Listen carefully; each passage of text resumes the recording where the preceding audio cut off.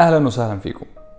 عشان نقدر نحقق الأرباح اللي بنسعى لها في الاستثمار في سوق الأسهم لازم نقدر ان نصنف الشركات الموجودة في بورصة الأسهم ضمن فئات رئيسية نقدر نتعامل معها. وحسب المستثمر بيتر لينش وهو مستثمر أمريكي حول مبلغ 18 مليون دولار لأكثر من 14 مليار دولار في 13 سنة من الاستثمارات.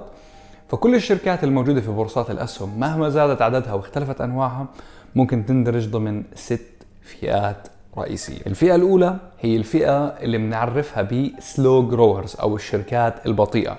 وهاي الشركات نموها السنوي في ال revenues أو الإيرادات والأرباح بقل عن 5% وبينصح بيتر لينش بالابتعاد عن الاستثمار في هاي الشركات. كونها ما راح تحقق لنا العائد الاستثماري المطلوب وبنفس الوقت ممكن يكون النمو البطيء فيها سببه إما تراجع في المجال اللي هي بتعمل فيه أو لأنه في شركات بتعمل بنفس المجال عم بتحقق نمو كبير على حساب هاي الشركة. من أمثلة هاي الشركات شركة إنتل الأمريكية اللي تراجع نموها بشكل كبير نتيجة المنافسة مع AMD و Nvidia المجموعه الثانية وهي المعروفة ب stalwarts أو الشركات متوسطة النمو. وهاي الشركات بتحقق نمو في الإيرادات والأرباح بيتراوح بين 5 ل 15% على أساس سنوي. وتعتبر الشركات المثالية للاستثمار فيها للمستثمرين اللي عندهم مبالغ مالية كبيرة. ومو حابين يخاطروا وحابين إنه يجيهم عائد جيد على استثماراتهم.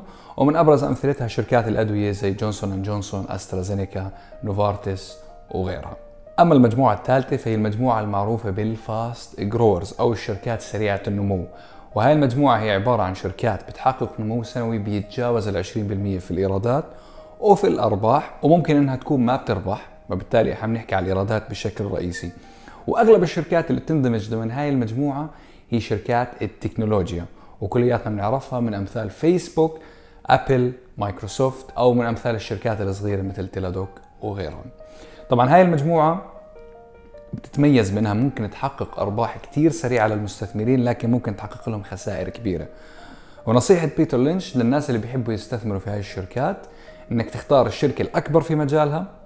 شركة متوقع إنها تحقق نمو كبير لسنوات طويلة لقدام تكون من المستثمرين اللي ما بيخافوا من تذبذبات الأسعار. بمعنى هاي الشركات ممكن تطلع أو تنزل 50% بسهولة لكن أنت ما راح تبيع نظرا لتذبذب أسعارها. وفي الأخير هاي الشركات راح تكافئك بال long term إذا أنت بتتمسك فيها وبتختار السهم الصح.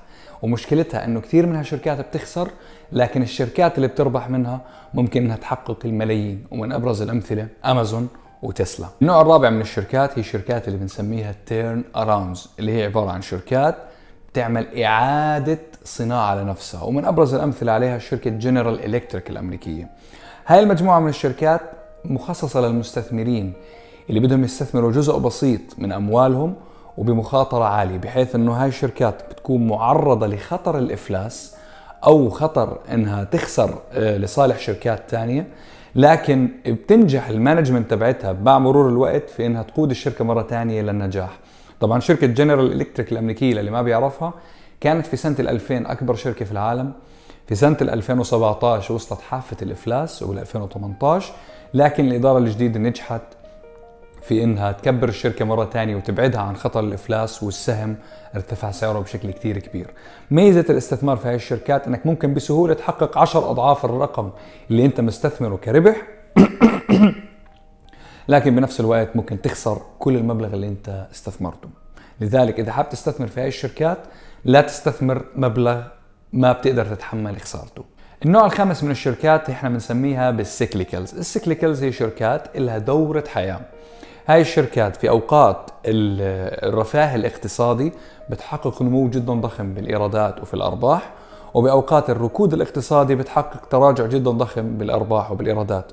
وأبرز أمثلتها شركات السيارات أو شركات الطيران. فمثلا لو أخذنا شركة دايملر أو شركة مرسيدس لصناعة السيارات رح نلاقي إنه أفضل وقت لشراء هاي السيارات هي في الأزمات مثل أزمة الكورونا. السهم تراجع وصار سعره حوالي 20 يورو. لكن بأوقات الرفاه الاقتصادي بصير سعرها كثير مرتفع وبالتالي إحنا بنصير خايفين من الركود اللي راح يجي فبنخاف ان نشتريها. وحاليا سعرها أكثر بكثير من السعر اللي وصلته في أيام الكورونا. المجموعة الأخيرة هي مجموعة معروفة بالأسيت بلايز أو شركات ذات أصول جدا عالية لكن السوق مش مقدر قيمتها عادة هاي الشركات بتندرج تحت قائمة الشركات العقارية بشكل كبير وفي بعضها بتكون شركات استثمارية بتملك أصول بشركات متعددة لكن السوق بيحسب قيمة الشركات بطريقة خاطئة مع مرور الوقت ممكن السوق يعدل نظرته لهذه الشركات ويعطيها قيمتها الحقيقية وبالتالي ممكن إنك تحقق منها ربح كثير كبير.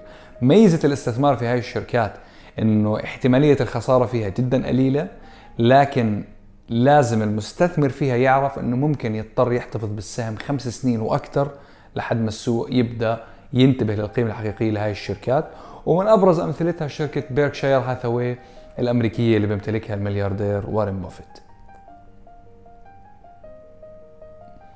حبيت أنا اليوم ألخص لكم أنواع الشركات بطريقة مختصرة كل الشركات الموجودة في سوق الأسهم رح تندرج ضمن هاي الست أنواع من الشركات وإذا حابين تعرفوا أكثر عن هاي الشركات ممكن إنكم تقرأوا كتاب بيتر لينش One Up Wall Street.